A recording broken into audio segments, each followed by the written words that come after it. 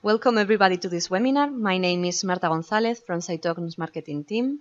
Today I am very happy to present our invited speaker, Catarina Martins. She is going to talk about the role of flow cytometry in the lab approach of primary immunodeficiency. Catarina has a PhD in immunology and currently she is invited assistant professor of immunology at Nova Medical School. There, she is also technical manager of the Primary Immunodeficiency and Immunology Laboratory. This lab addresses both primary immunodeficiency diagnosis and also research projects. She supervises PhD and master's students and has co-oriented several laboratory traineeships for national and international medical doctors. At NMS, Catarina Martin is also the coordinator of the Biosafety Committee and a member of the Health and Safety Commission. In 2017, Catarina was elected Vowel of the Iberian Cytometry Society, and she is also a recent member of the ISAC SRL Task Force. She collaborates with the Portuguese Accreditation Institute as technical and lead assessor for clinical labs, and she has started a similar collaboration with the Irish National Accreditation Body. Thank you very much, Catarina, and welcome. It is with great pleasure that I am here today presenting you this talk about flow cytometry in primary immunodeficiency and I would like to start by thanking Cytognos for their kind invitation and also thank Marta for her uh, so gentle introduction. In brief, I will take you through primary immunodeficiency starting with general concepts and then looking at how flow cytometry is relevant in the diagnostic of these patients along with some applications that have been explored in the last years with the Euroflow strategy but so many other different assays and functional assays in particular. Of course, we shall have a small uh, presentation on practical cases analysis and the final concluding remarks. What I bring you today is also part of a 10-year-old story that we have started back in 2010 in the Primary Immunodeficiency Laboratory at Nova Medical School in Lisbon, Portugal. Our diagnostic and research laboratory that addresses not only PIDs but also other immune-related diseases, works in close collaboration with several hospitals, but particularly cooperates with the Pediatric Hospital of Dona. Through these 10 years, our collaboration has allowed the analysis of more than 3,000 samples and has contributed to the diagnostic of more than 250 PID patients with many different entities. Of course, this led to several publications in this field, including the description of new primary immunodeficiencies that we have explored together with colleagues from national and international PID centers. About a century ago, we find the first reports of diseases that are now recognized as primary immunodeficiencies. That is the case of ataxia telangiectasia, which is first reported in 1926.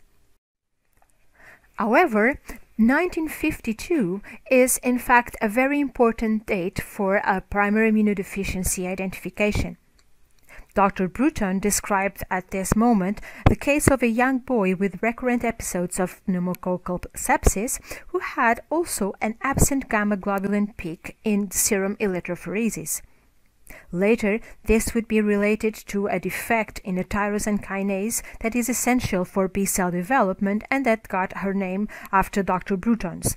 And then this was the first X-linked gamma globulinemia case reported. Under Dr. Bruton's orientation, this boy was administered with gamma globulins, which kept him out of these sepsis episodes for a long time.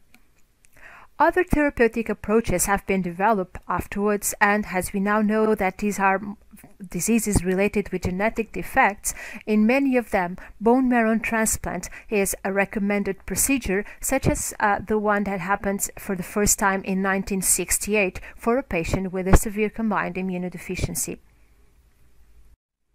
The story of David, the bubble boy, a SCID patient that lived his life in his isolated, sterilized bubble for 12 years, also brought PID to world attention, uh, and uh, the latest classification has now uh, been performed in 2020 by the International Union of Immunological Societies and includes 406 distinct disorders with 430 different uh, gene defects associated.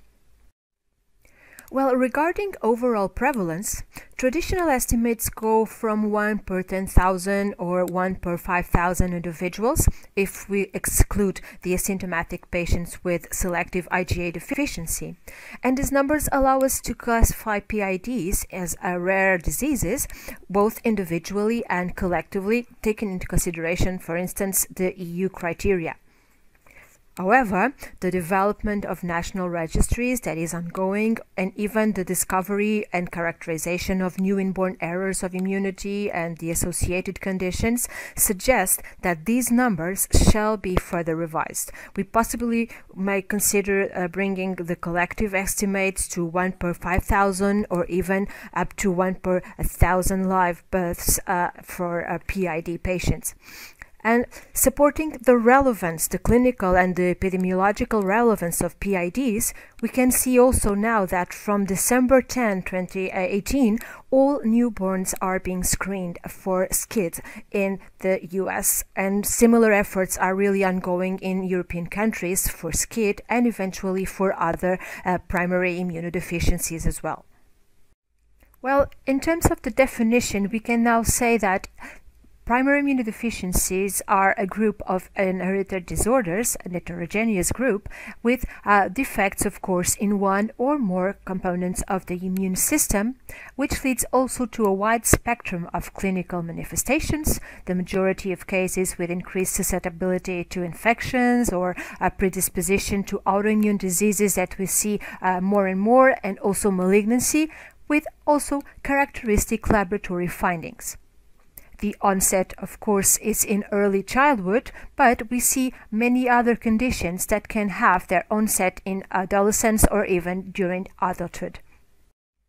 Regarding the classification of PIDs, traditionally we have considered eight big groups with combined immunodeficiencies that may or may not be uh, associated uh, with syndromic or characteristic features, also predominantly antibody deficiencies, the diseases of immune dysregulation, the defects in phagocytes and in innate immunity, along with autoinflammatory disorders and also complement deficiencies. Back in 2014, we had the addition of the phenocopies of PIDs, and at the moment, the latest classification from 2019, published just last year, classifies 10 groups in human inborn errors of immunity that add to the previous nine a new one that is related to bone marrow failures. Looking at immunodeficiency in general, flow cytometry is usually considered in the diagnostic uh, of secondary deficiencies. In fact, we all recognize that HIV infection has significantly contributed to the development of flow cytometry technologies, but flow is also an important tool for monitoring these patients. As we will see today, in PID, which are diseases related to the transmission of disease carrying genes from parents to children or that result even from de novo mutations, flow cytometry will be highly helpful as it allows the identification of alterations in the immune cell subsets or protein expression and even allows us to identify alterations or assessing several different immune functions. In fact, flow cytometry will be used in several steps of this diagnostic approach that has been proposed by the Jeffrey Modell Foundation. In this stratified pathway that starts with the patient examination and with routine assays that eventually will allow us to identify from the beginning characteristic features or even to exclude other causes of immunodeficiency. And we furthermore will see in step two, a high uh, characterization of antibody responses considering also the importance or the prevalence of these defects in terms of the whole primary immunodeficiency group. It is in step 3 that we start to see more differentiated flow assays, starting of course with lymphocyte subsets and with other functional approaches to both lymphocytes and neutrophils, as you can see here with the oxidative burst evaluation. The final step is now uh, a group of different assays, many of those that use flow cytometry and that should be addressed and oriented according to the suspected diagnosis. This means that they are mostly implemented in more specialized labs that are uh, specialized for these uh, purposes that include as well uh, laboratories responsible for the genetic evaluation of these patients. Let's start with the first group of immunodeficiencies that affect both cellular and humoral immunity. The most severe cases, SCIDs, which are severe combined immunodeficiencies, have at least a defect on T cells.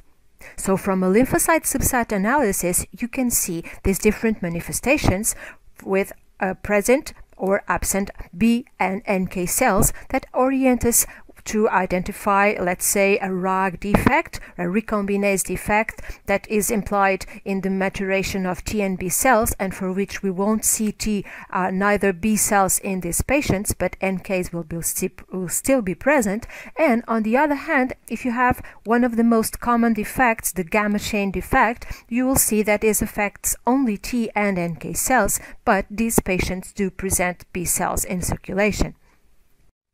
So, uh, a, routine lymphocyte subset analysis allows us to identify these uh, defects. It doesn't matter how many colors you, you use, but as many the better, you know that you will be able to identify the absence of some of these populations.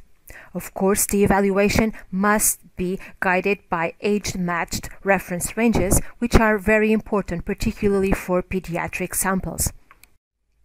And we shall start, in fact, with a pediatric patient, a baby boy, a five-month-old that was sent to study for in our laboratory. And if you compare the image of this uh, first tube with CD3, CD4, and CD8 uh, from the patient compared to the control image, you will see that there's a real uh, absence of T cells in this baby.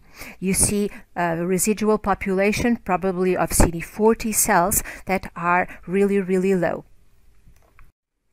in the second tube of this panel that allows us to identify T, NK, and B cells, we see that besides the residual lymphocyte population, we also see low numbers of NK cells and that the lymphocyte gate is in fact mostly composed of B cells. So this could be a SCID with a T minus NK minus B plus phenotype that was further confirmed as a gamma chain defect. What I can tell you about SCID, this severe combined immunodeficiency, is that the typical age of onset is around 2 to 6 months in babies with low weight or failure to thrive and that show persistent diarrhea or may show as well recurrent complicated infections and even graft versus host disease signs either from maternal cells or from residual leukocytes that could come in transfusions. Regarding laboratory findings, we know now that alterations in lymphocyte subsets and lymphopenia are typical of these patients that may also present with thrombocytosis, eosinophilia, and again decreased immunoglobulins or absent even that we can also identify as a, a finding of these patients. Patient 2 was also sent to our lab with a suspected SCID diagnosis. When you look at the lymphocyte subsets, this is not that typical of a SCID because indeed there are T cells and also they are distributed in both CD4 and CD8 T cells. You even see in tube number 2 of the panel NKs and B cells, but in this case B cells are uh, relatively low in terms of the normal reference range. So could this be a SCID?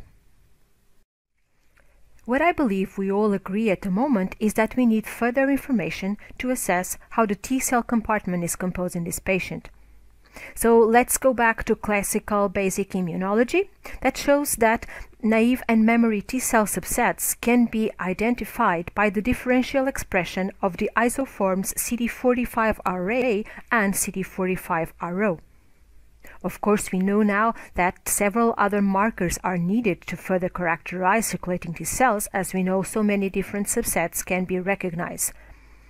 If you take a look at these three dot plots that present the simple RA-RO distribution, you see, nevertheless, that in these three different ages, we are expecting some important differences. At the age of 5 months, the T cell compartment should be mostly composed of naive cells with this RA expressing phenotype. As time goes by, memory subsets become more and more present in both children and adults. As for our patient, though we had circulating T cells, we see now that these are all memory cells, well, probably from a maternal origin, uh, maternal cells that have crossed the placenta during gestation, which leads us uh, to the conclusion that it can indeed be compatible with a SCID.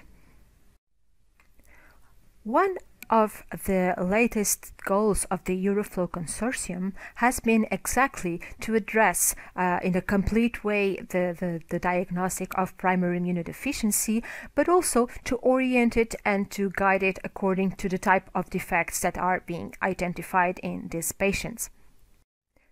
Most of you probably have heard about the primary immunodeficiency orientation tube, the PIDOT that has a conjugation of an 8-color panel with 12 different markers that will be able to identify the main populations we would need for uh, an initial approach for primary immunodeficiency diagnostics. This means that we have a very strong validated panel with a database with reference images, automated and reproducible analysis, and also something that is very useful for, for us, an age-matched reference range from cord blood and peripheral blood. The bulk lysis protocol we use with it is also very important as it increases sensitivity, which is particularly important for uh, lymphopenic samples. So starting with the T-cell approach of the PIDOT, we will see that we are able to identify using uh, CD27 and CD45 array for uh, different subsets within CD4 T cells from naive, central memory, effector memory, and effector terminally differentiated cells and a similar approach for CD8 T cells that goes now with five subsets from naive, central, transitional memory to effector memory and then the two uh, uh terminally differentiated uh, subsets with CD27 and without the expression of this marker. So we have a complete approach using this combined strategy, isolating T cells uh, with the CD3 marker, which is alone, and then conjugating all of these markers to identify CD4, CD8s, and also gamma delta T cells. For B cells, we will have a similar approach, in this case using now the CD3 negative cells that have CD19 in this combination with the gamma delta TCR. So when isolating only CD19 positive cells, we can divide B cells in pre-germinal center according to the expression of, again, CD27, now combined with um, surface uh, expression of IgD and IgM, and then see how post-germinal center cells, both unswitched and switched, will be characterized in this uh, profile. Additionally, of course, we can have another set of subsets with our NK cells, very important also for this approach, but again with eosinophils, neutrophils, monocytes, also with CD16 positive monocytes, and other smaller subsets that we can characterize, identify and characterize in PID patients. Similarly to what happens with other Euroflow platforms and tubes, using the Infinicyt software for analysis, it also allows us to have a final report. Uh, this final report addresses cell concentration and also the frequency of each population compared to total leukocytes. It's also important to notice that the report is editable, which means that we can add information such other comments or even the dot plots, but we can also add it to add the frequency of the subsets compared to their mother population. Let's say the percentage of naive T cells within CD4 T cells and this is important because we often have these values as diagnostic criteria for many PIDs. Later, we will have the possibility to see real-time analysis of a few files, but now I would like to address some of the potentialities and the information we can get from the PIDOT tube. In this baby girl with 13 months, we have uh, uh, performed exactly this protocol and what we will see after the first analysis is this combination of graphs. 800,000 events were acquired for this sample and in fact we can see now that this is a lymphopenic sample. Only 270 cells per microliter as a lymphocyte count. We also see that despite B cells are also altered with very low numbers we can see that there's a profound T cell defect with, with both low levels of CD4 T cells and CD8 T cells and particularly low levels of the naive subsets in each. We also see NK cells decreased and we could expect to see here a phenotype of a T minus, B minus, NK minus SCID. Nonetheless, the girl already has 13 months which would be a bit late for the diagnosis. But again, we also see that besides the lymphopenia, we also see that a total leukopenia is present in the sample. We have low neutrophils, low monocytes. So this could be something uh, different from what we were expecting at first moment. In order to complete our characterization of the patient, we also addressed thymic uh, activity and in this case through the assessment by flow cytometry of recent thymic emigrants which are T cells that still have the expression of CD31. These cells also correlate with another marker of thymic activity, the TRECs, which are T cell receptor excision circles. At the age of 13 months, the patient had only 1% of recent thymic emigrants that were present in a much higher percentage at birth, as we had access from the cord blood bank to cord blood cells in which the percentages of RTEs were in fact increased. So somehow we can say this patient has an acquired thymic dysfunction that is also uh, conjugated with a bone marrow aplasia. The patient was also tested for uh, the, the SCID panel, for the PID panel of genes, and was shown negative to the, the, the requested genes. When we have a normal thymic function, the T cell repertoire is a diverse one. So to assess it, we have another important assay that we use in this scenario. We use a combination of 24 V beta families from the TCR and we characterize them to assess re the repertoire diversity. In terms of the protocol, 24 V-beta families are conjugated in 8 tubes, each one with one family marked in FITC, another in PE, and a third one in both fluorescences that allow us to use uh, the, the assessment of three different families per tube, optimizing the amount of sample needed in these cases we expect to see in a healthy control a diversity in the distribution of the different families, but again, our patient with the, the thymic dysfunction shows an altered repertoire with a smaller diversity. Few families are more represented compared to the expected range you see here in blue, and most families are, on the contrary, much less represented than expected, as you can see in this slide. These oligoclonal repertoires are also typical of one condition called the Omenn syndrome that is due to hypermorphic mutations in the recombinases, for instance. And in this scenario, we would have a very uh, uh, activated repertoire because many of these cells are in fact autoreactive. So the expression of HLI HLA-DR, a marker of activation of the T cell, can also be helpful in the assessment of Omenn syndrome patients. Other informations are also possible from the analysis of the PIDOT tube. If you see now, we have a new patient, a 14-year-old boy, and the analysis of the, of the populations allow us to identify here also a lymphopenic patient with alterations in both the T and the B cell compartment.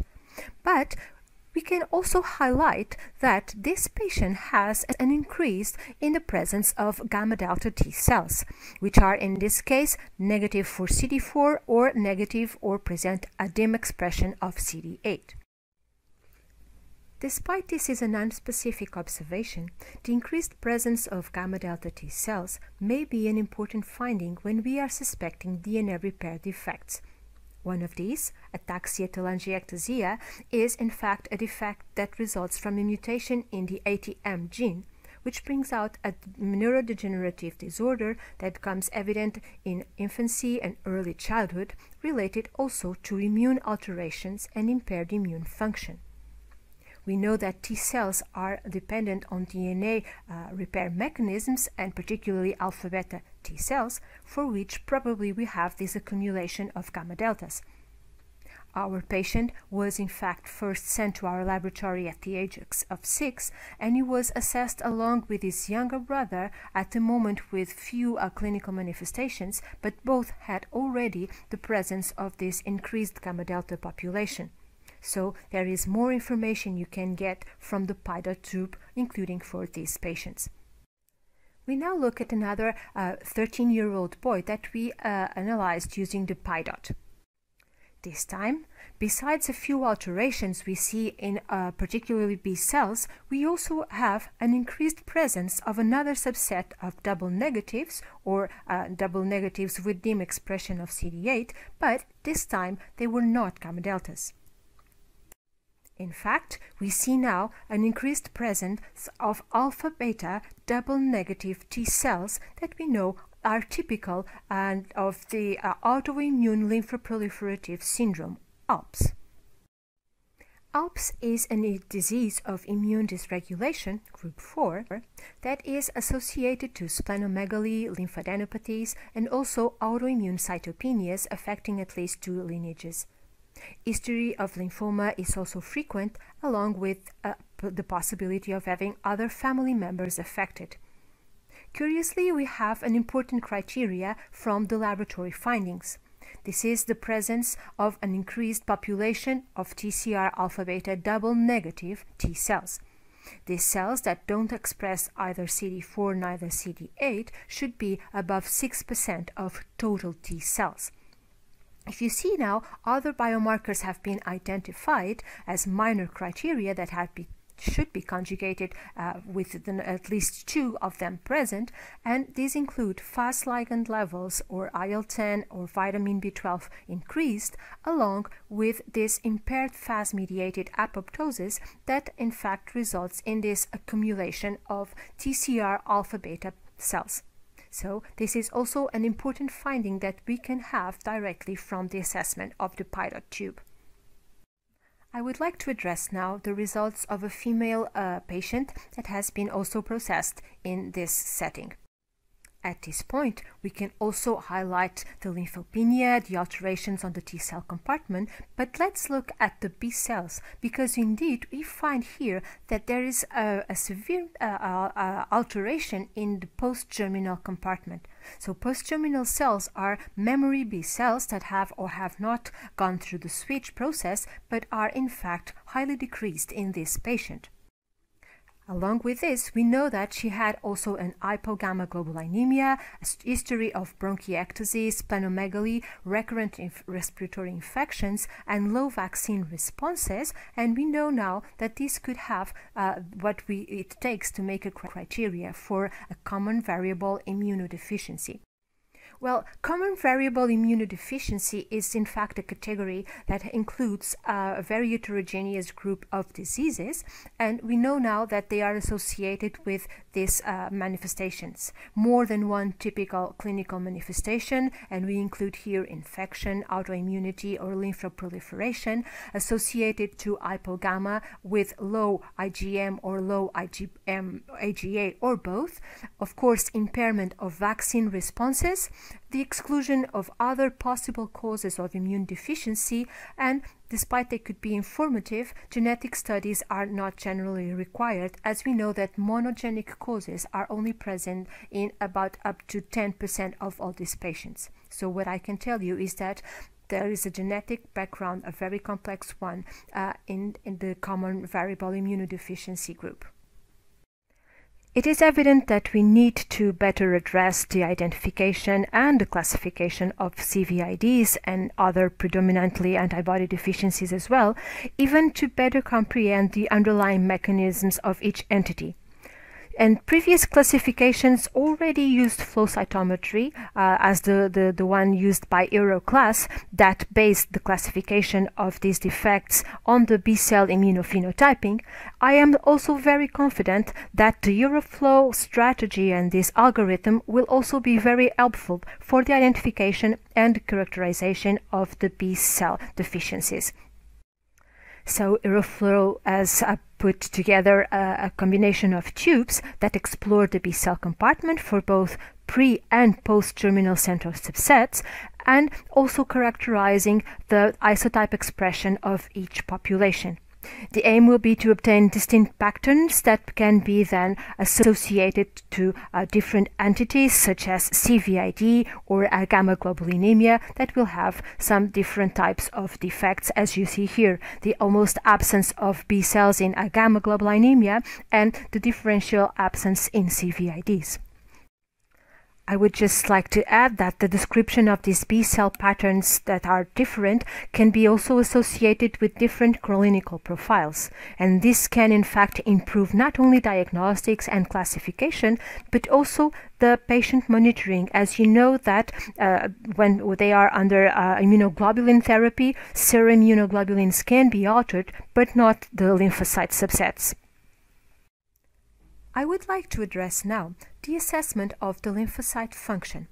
And considering, for instance, T cells, we know now that they respond to specific antigen stimulation through the presentation of the antigen by antigen presenting cells in their HLA molecules, but also there are mitogens, which are substances able to stimulate in an unspecific way the T cell and afterwards we can assess frequency and phenotype alterations on the cells, their proliferation, and other functions such as cytokine secretion or cytotoxicity. Let's start with proliferation. Classic radioactive assays were, and I think they are still used to assess lymphocyte responses. In brief, stimulated cells would integrate tritiated thymidine, a nucleotide analog, as they proliferate, and for which culture cells' radioactivity would be proportional to their proliferation index.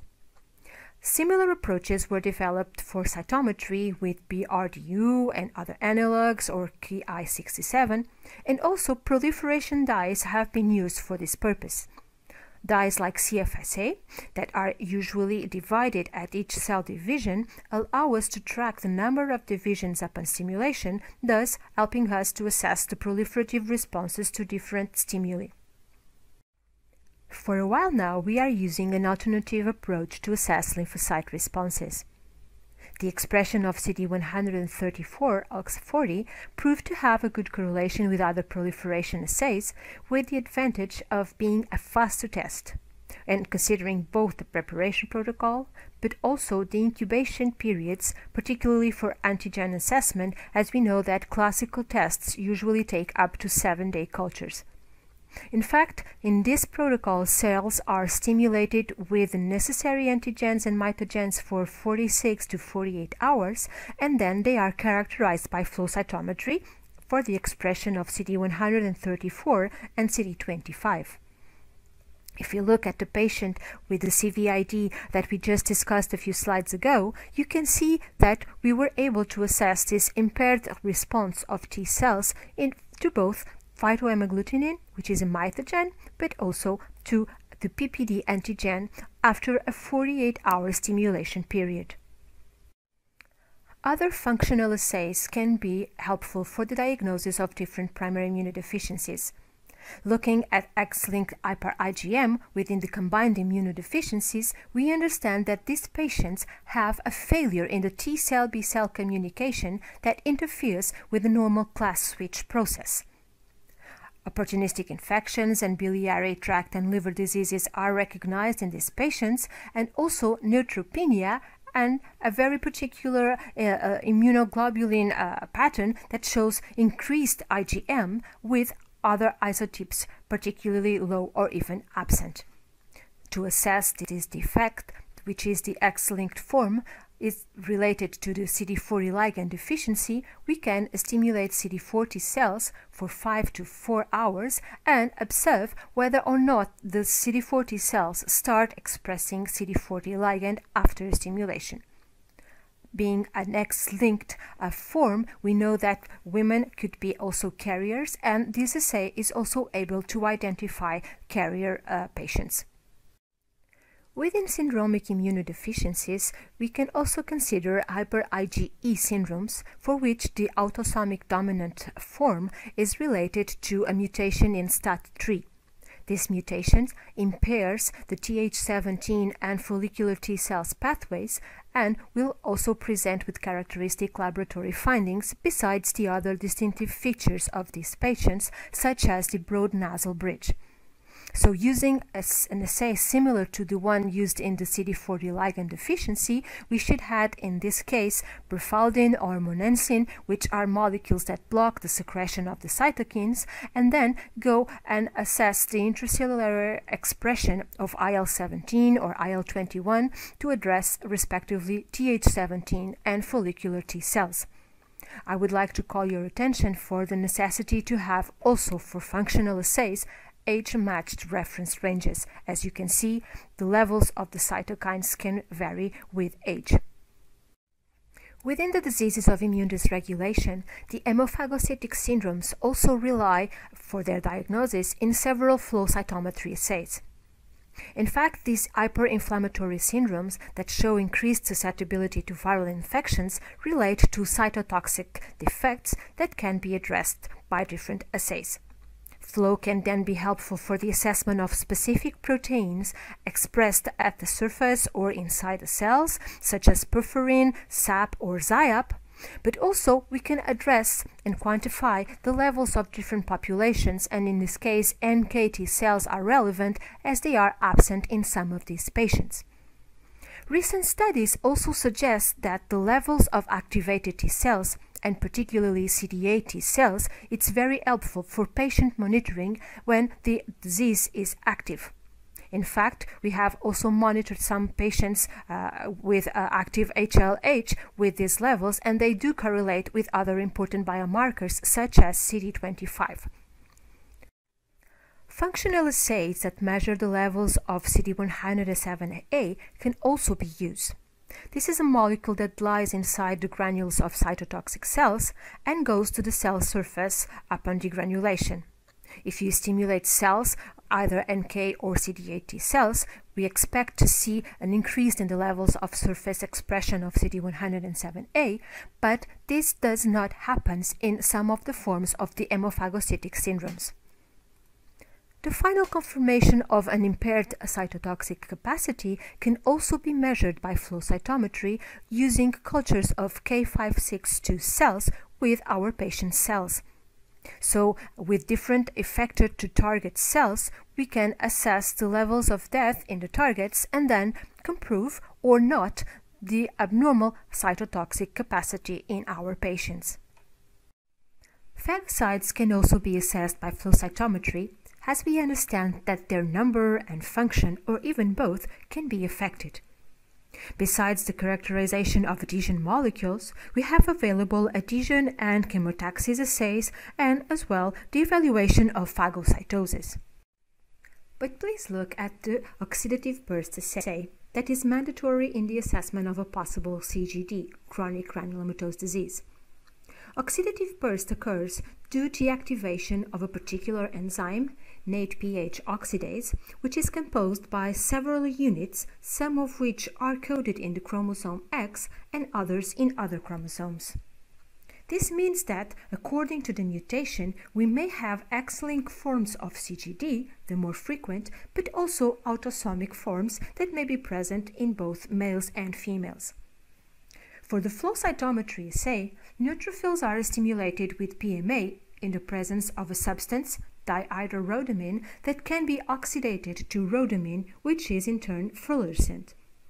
in healthy patients, the fluorescence of stimulated cells increases significantly compared to the non-stimulated cells, achieving a NOI, a normal oxidative index, above 30.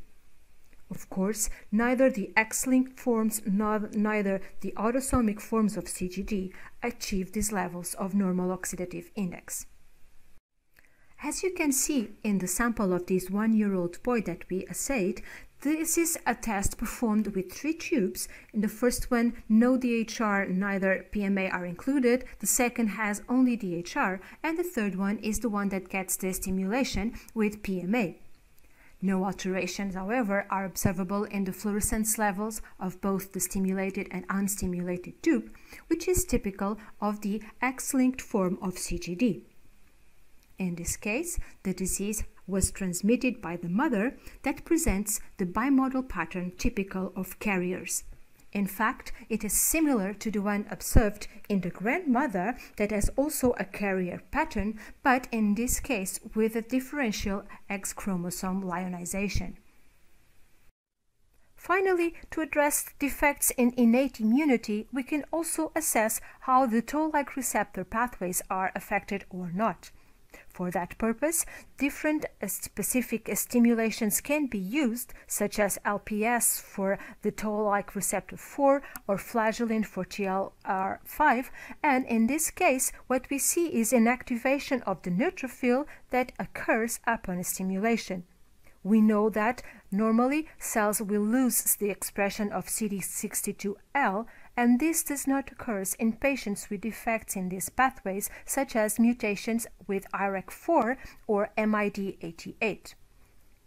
Finally, we can also see that even in complement deficiencies that are typically addressed with other type of assays, we can also add an input from flow cytometry addressing the expression of surface molecules such as CD46, a membrane cofactor, but also CD59 and CD55 we use in uh, PNH, but also that can be present in other particular deficiencies such as CHAPLE disease.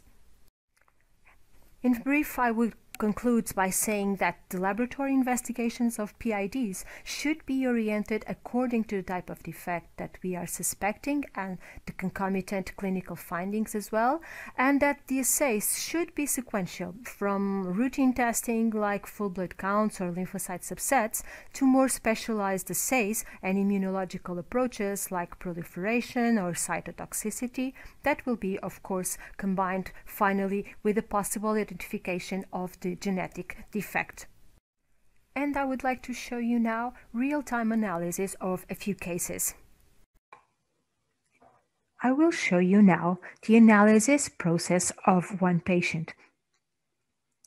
When we select the file, the first thing we have to do is to exclude two parameters before processing the file in the database. So in the export mode, I will remove the side scatter height and the time for this final file to be assessed.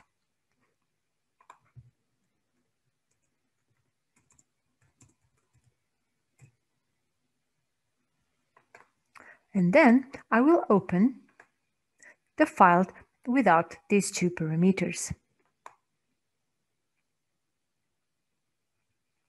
It's time now to look at the databases available from the Euro Infinicyt Euroflow database system. And for our particular case, we shall use the Euroflow PID database for peripheral blood, and we should introduce the age of the patient, in this case, four years and 10 months, and then select you will see that the panel is already mentioned here and you just have to say OK for the database to start. Usually this check on the fluorochromes and monoclonal antibodies used will be uh, presented and you just have to say OK and the database starts analyzing. Once the database analysis is finished, the software may give us some messages such as the check percentage alert that we have see here, stating that the software was not able to characterize a percentage of cells higher than expected, as this will require our attention later on. We shall say, okay. But it also asks us to, at this point, input the absolute counts for this sample that we may obtain from the full blood count leukocytes or from a single platform strategy using flow cytometry. In this case, we have a total count of 6,214 cells that we introduce at this moment.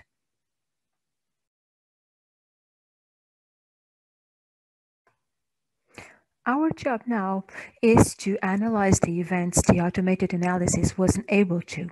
And this can be performed by opening this check population item where all the populations that were not properly classified are.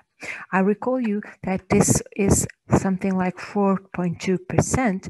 And if the protocol has been well performed and the sample quality is good, both the check populations and afterwards the debris doublets will be uh, with low values. This means like up to 5% in checks and let's say 20 to 25% in debris. So you could start analyzing the different subsets you have either from the top of the or the bottom, but just to let you know how we could perform this, we would be clicking in this interrogation and see what the database analysis wasn't able compared to the population. The database thinks that it's more close to this one. In this case, we do think that um, this is proper uh, analysis in terms of the evaluation for the pre-germinal centers, that they have in fact a lower expression of IgD, but this could happen, and so we can consider these cells within this subset we will see that they are probably migrating to another uh, population. And the same for uh, unswitched memory uh, uh, plasma cells here that you can see that both uh, uh, points for the, the characterized and the check population are close. So we can also agree that this could be this, this suggested subset and so on for the other more. And continuing with the CD4 T cells, now we see that we have here possible debris. And now, yes, we agree that this could be naive CD4 cells. The same for this transitional central memory and also for effector memory. And again for CD8s. And this would continue for as long as we have checks to assure And for CD8s, I would like to stress out that it is very important to check properly uh, the definition of naive and also of central memory T cells because they get sometimes a bit confused. So address this in with particular attention. And we could continue this through all the other cell subsets again at this point.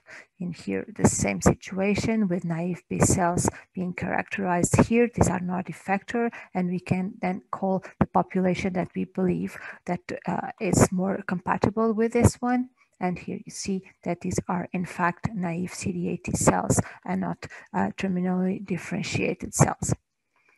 So we can continue. And the same will occur for the other populations that we are going to address as well, identifying eventual debris and doublets as well, and classifying them according to what is more alike. For uh, neutrophils, eosinophils, monocytes, and other subsets until all the checks are cleared and clarified. And when this happens, for both debris and doublets, we know now that the check item disappears and we have all the populations classified, also including the alert messages that we see, let's say within nucleated cells, we have 16 items that have either the values altered in concentration or frequency. Of course, we can check each population by itself and look at B cells in particular and their uh, reference images in the automated separation, also for T cells. And I always look at CD4 T cells separately and then also for oh sorry, for CD8 T cells and address them in terms of what are their uh, reference images as well. And as we can see in this patient, there are mostly cells within the CD4 compartment in the naive and central memory subsets with low uh, levels of, uh, of uh, effector memory. And the same happens here in, uh, in CD8s. But in the end, if we consider all the subsets, then we will have, according to the age matched reference ranges, this final report that can be edited by uh, ourselves to include, as you can see here, the different uh, graphs or dot plots that we wish, but also the different comments that allow us to identify which cells are altered, which populations are increased or decreased in this particular setting. This was in fact the, the, the, sample from one of our SCID patients that was assessed in the post-transplant monitoring. And we see now that despite he still has a few alterations, we know uh, recognize that the patient presents with naive T cells and both CD4 and CD8s, and also with uh, uh, B cells in this context. We are now looking at another sample from an older patient that has gone through database analysis. Again, we see that are still 3.5% of events that were not automatically classified, thus we need to check these populations. When all the check events are classified, we see that the check uh, folder disappears and we must take a look now at our, both the uh, images, but also to the alerts that we see here. And in fact, the absent population alert is really high with nine points here with the absence of the B cells that we also see in the reference images. The patient we are looking at that also shows already some level of impairment on the T cell compartment with low naive TCD4 and TCD8 cells is in fact an XLA patient with an X-linked gamma globulinemia showing no circulating B cells. So to finish this presentation, I would like to highlight has take-home message that flow cytometry is indeed a crucial tool for the diagnostic workup and monitoring of PIDs. Immunophenotyping and functional assays are both helpful in guiding doctors in several PIDs, and initial routine approaches can be complemented with extra assays in specialized labs.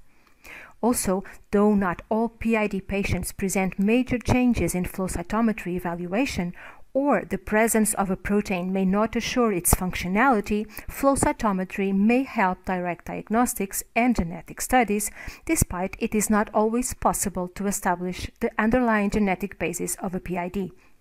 Finally, standardized analysis strategies are needed, as in so many other fields of immunology particularly for primary immunodeficiencies if we consider the rarity of these entities and their diverse presentations. And also, it is crucial to address the reference ranges and in an age-matched form. And I would like to end thanking you all for your interest and your attention in this presentation. Obrigada, as we say in Portugal.